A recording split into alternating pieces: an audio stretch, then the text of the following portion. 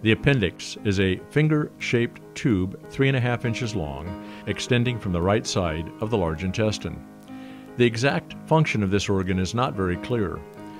Appendicitis is a condition in which the appendix becomes inflamed and filled with pus. It is a medical emergency requiring immediate surgical removal of the appendix. If it is left untreated, there are chances the appendix will burst, spreading the infectious material into the abdominal cavity, peritoneum. This can inflame the abdominal cavity, a condition called peritonitis, and can sometimes be fatal if not treated urgently. Appendicitis can strike at any age, but is common between the ages of 10 and 30 years.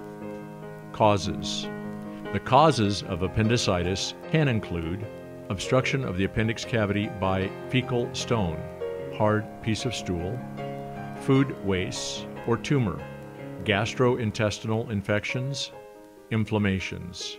These can cause the bacteria naturally present in the appendix to rapidly multiply, leading to inflammation and infection.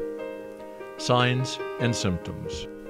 The signs and symptoms of appendicitis include mild pain in upper abdomen and belly button region that increases to sharp pain as it moves into the lower right abdomen. Rebound tenderness.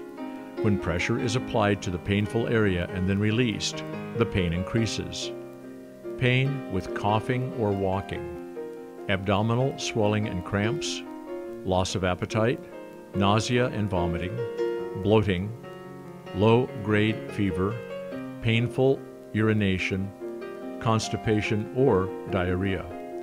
Diagnosis It is difficult to diagnose appendicitis as the symptoms are similar to other health problems. Your doctor will examine your symptoms and conduct a physical examination of your abdomen.